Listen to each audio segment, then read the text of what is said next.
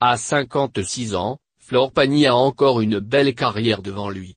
Auteur de nombreux tubes à succès, parmi lesquels Ma liberté de penser ou encore Et un jour une femme, il endosse depuis deux ans le rôle de coach dans l'émission phare de TF1, The Voice.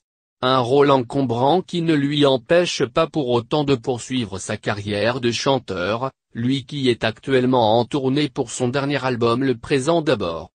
C'est d'ailleurs à ce sujet qu'il a été interviewé par l'équipe de 7 à 8 il y a quelques jours. Du moins, c'est ce que lui ont fait croire les journalistes.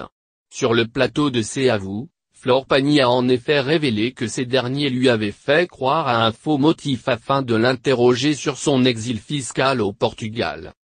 Questionné par Anne-Elisabeth Lemoine sur son déménagement au Portugal, Flore Pagny a confié qu'il comprenait que les gens s'intéressent parfois plus à sa fortune qu'à ses chansons.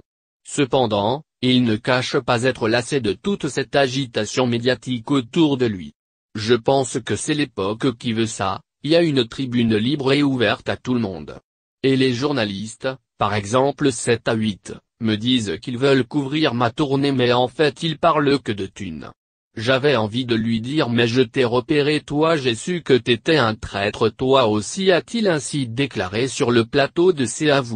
De quoi lui passait l'envie d'accorder des interviews.